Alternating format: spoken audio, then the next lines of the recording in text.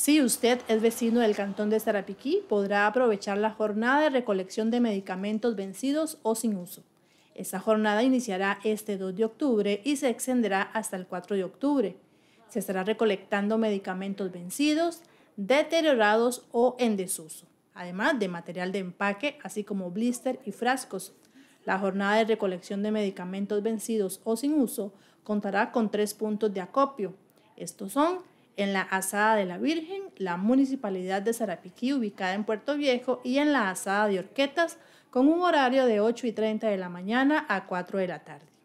Esta jornada es gracias al trabajo en conjunto entre la Municipalidad de Sarapiquí y la empresa Punto Seguro, quien instalará los dispositivos para la recolección de medicamentos y será la encargada del tratamiento adecuado.